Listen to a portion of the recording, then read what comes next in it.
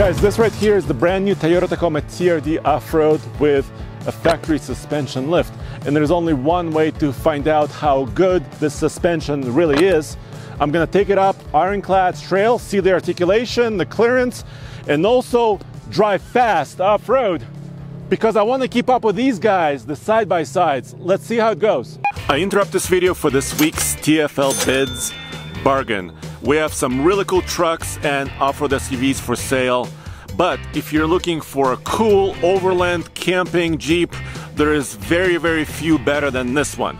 This is a 2015 Jeep Wrangler JK. It's a Rubicon. It's built up with a small lift, off-road wheels and tires. It's in great shape with low miles, but it also has a very nice Ursa Minor tent system on top.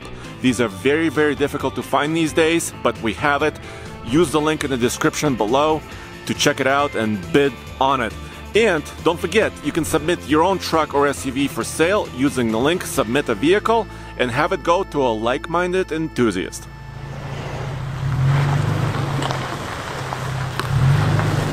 When you purchase a truck like this, a Tacoma TRD Off-Road, it already comes with a lot of equipment built in. Four low, rear locker, crawl control system.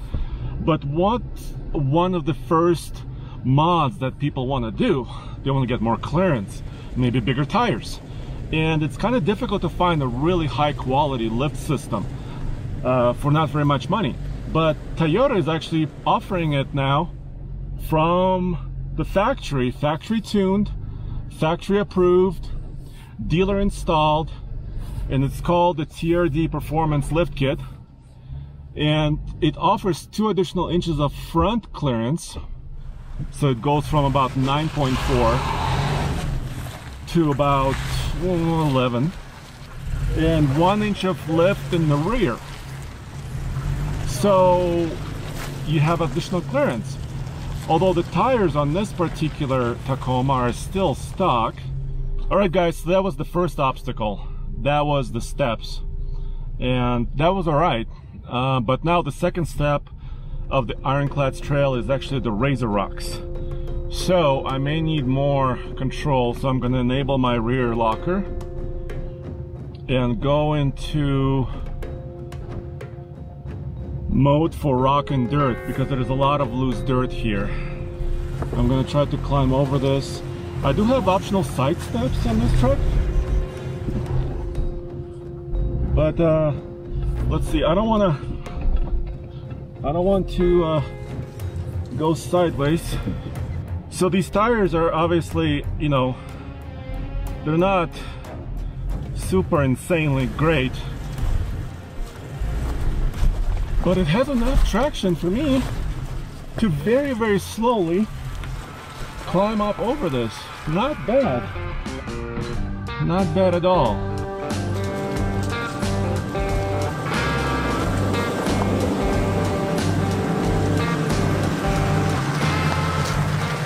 Guys, check this out. I have the Toyota Tacoma Christmas tree right here. I'm in 4 low and my rear locker is enabled. Um, it's a little bit confusing, but the traction control system is in off-road mode. And yeah, I mean, it's okay. But check this out. Also, I have my cameras. Not super high resolution, but still a bit helpful. And it's combined here together with an inclinometer, so I can tell exactly, you know, what my inclination is. Although I wouldn't rely on it too much because I would rather look at the obstacles rather than looking at the angle I'm at. Um, but it is helpful sometimes when you're approaching something very huge. Okay, so now I'm staring at True4Dare. Dare. It's really rocky. I'm gonna select my crawl control speed and attack it.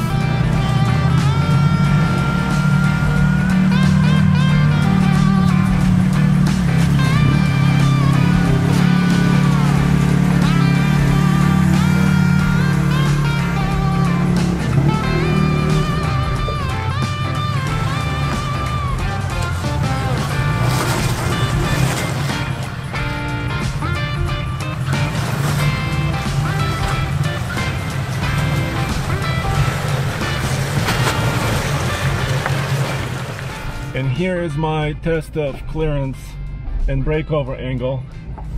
So I'm gonna try to kind of approach this diagonally because I don't want to beached, get beached on this obstacle and see if I can actually gently crawl over it. If I was specking this truck out, I would not get like one of the premium packages it has. I also wouldn't get the side steps. I think this truck doesn't really need side steps.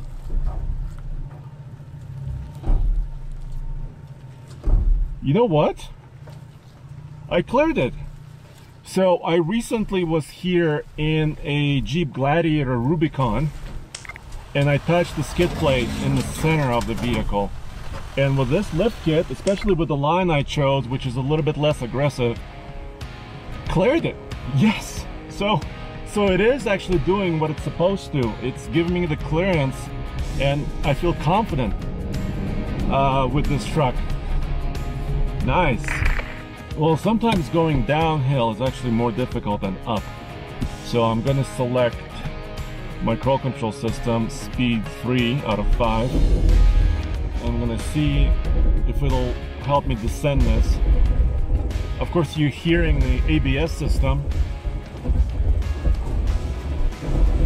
trying to control each wheel speed independently. And I'm pretty comfortable with this speed, even though it's a little bit snowy and icy here.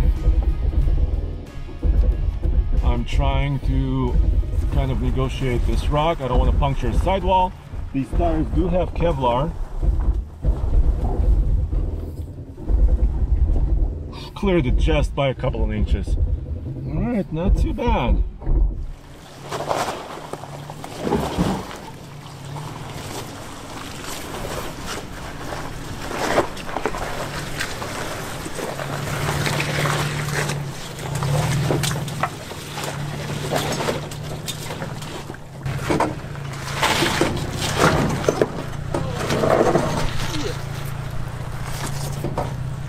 Alright, so I just hit my passenger side step on this ledge.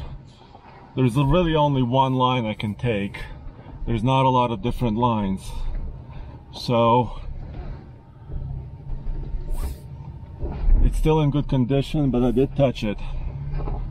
Which is why I'm saying I wouldn't buy the side step if, I, if it was me.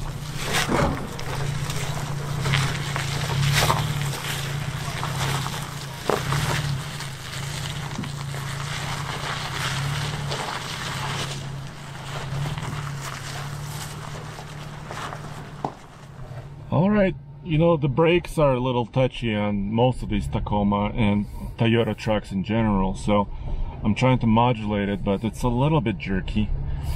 Um, it's kind of a aggressive brake actuation.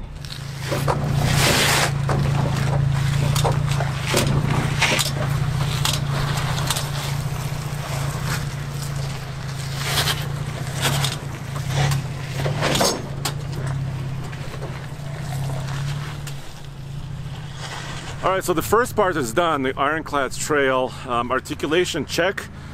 Tire traction is actually not too bad. Clearance check. Even the approach and departure angles are better and I could actually tell by driving it. Now the fast section awaits. And of course, there are my friends. Thank you guys. Thanks. So, uh, well, they have serious machines. Check it out. Yeah, I probably won't keep up with them on some of the flats, but let's see what these Bilstein shocks with TRD tuning can do. Let's go.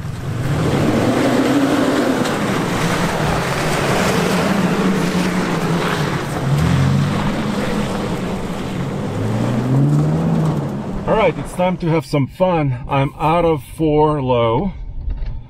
Traction control is still disabled. And I'm gonna pick up some speed here and see how it goes. See if these shocks are actually, you know, also work at higher speeds. And by the way, I'm running about factory pressure for the tires, about 30 psi.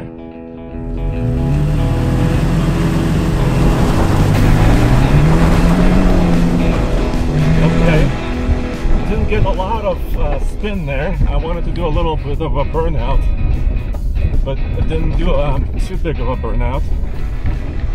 You know, I think these uh, tire pressures are a little bit too much. On the street, these shocks are just amazing. Very, very smooth, very controlled, very nice. But right here, I think the ride is just a little bit harsher than I like. So definitely this is not, you know, what TRD Pro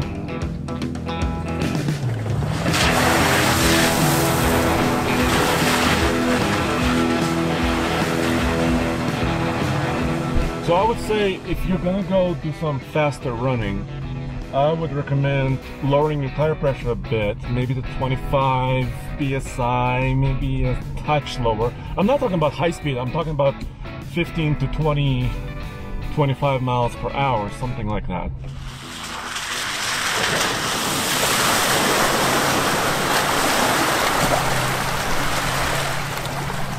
So the price on this truck as tested is just over 46,000 bucks.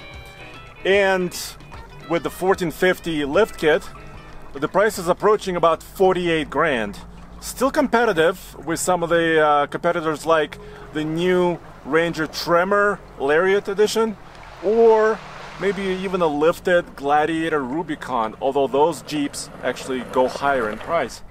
And I gotta tell you, rock crawling with a suspension or going over obstacles slowly is really great. The clearance is awesome, but fast running is not so great. It's still a little bit bumpy uh, with the suspension, but clearing water, it's not a big problem. And as always, go back to tfloffroad.com for all the latest news, views, and real world off-road reviews. Till the next one.